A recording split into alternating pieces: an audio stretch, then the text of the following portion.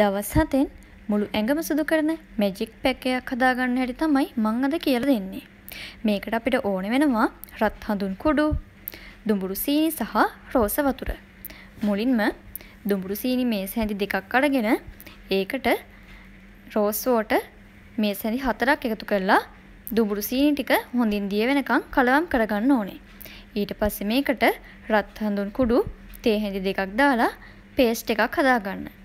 දැන් මේක ඔයාලගේ මූණේ ඇඟේ ආලේප කරලා පැය භාගයක් තියලා හොදලා අයින් කරන්න පුළුවන්. දින හතක් එක දිගටම මේක කිරීමෙන් ඔයාලට දිදුලන රෝස පැහැති සමක් මුළු ඇඟටම ලබා ගන්න පුළුවන්.